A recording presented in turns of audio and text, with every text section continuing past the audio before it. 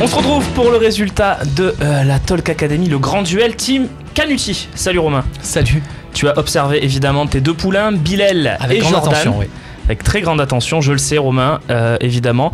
Romain, c'est le moment de trancher, tu sais euh, le principe, c'est toi qui dois désigner lequel de tes deux euh, demi-finalistes tu emmènes dans la grande finale en direct pour affronter Florian, le finaliste de René Malville, et euh, Robin, le finaliste de Sébastien Volpe. Alors, c'est le moment, euh, tu peux nous dire un petit peu qui et pourquoi?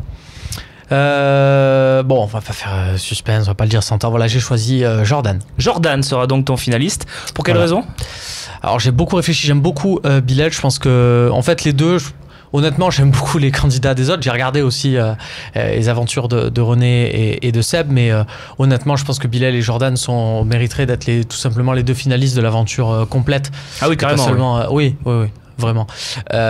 Et je trouve Bilal excellent.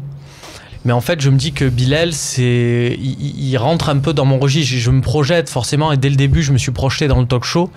Et je me dis que Bilal, il est dans un profil où on commence à avoir plusieurs, euh, plusieurs personnes dans ce registre-là. C'est-à-dire, il connaît parfaitement euh, l'histoire de l'Olympique de Marseille. Il est incollable. Il est capable de soulever euh, des problématiques très intéressantes. Mais je me dis au final que euh, on, on- on se ressemble quand même beaucoup. Et au final, c'est ce qui lui porte préjudice parce que euh, Jordan. Parce je que Jordan, que- il ressemble pas à quelque chose qu'on connaît, quoi. Jordan, pour moi, et je, je- je- j'en, j'en suis, euh, voilà, c'est, un avis. euh, comme des fois, on voit un jeune joueur et on se dit, il va faire une grande carrière. Machache, par exemple Jordan, je Ouais. le vois vraiment comme dans la, dans la lignée de René Malville.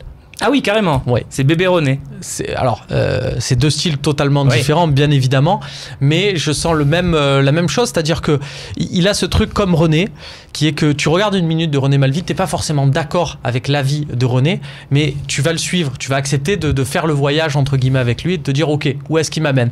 Et ben Jordan, c'est pareil. Il va démarrer, tu vas avoir envie de, de suivre, de voir jusqu'où il t'amène, que tu sois à fond d'accord avec lui ou euh, d'accord sur les principes ou pas, pas tellement finalement. C'est une question de flow, comme tu le disais euh, lors de ta- votre rencontre euh, aux sélections un peu. Voilà, ben, je trouve qu'il a confirmé euh, sur les duels, il a, il a confirmé ce potentiel-là. Des fois, il y a des gens, ils l'ont une fois et puis ils l'ont plus. Lui, on voit qu'il avait vraiment ça en lui. quoi. Finaliste donc de Romain Canuti. Jordan, félicitations à nos trois finalistes. On vous retrouvera, messieurs, en finale lors d'un talk show en direct. Ça sera dans les prochaines semaines, ici sur le plateau du Fosséen, en compagnie également du vainqueur de la saison 1, Kevin Kribich, qui lui aussi fait son petit parcours. Et on verra qui remporte cette saison 2 de la Talk Academy. Merci de nous suivre, merci de votre fidélité. Et à donc très bientôt pour la grande finale. Salut!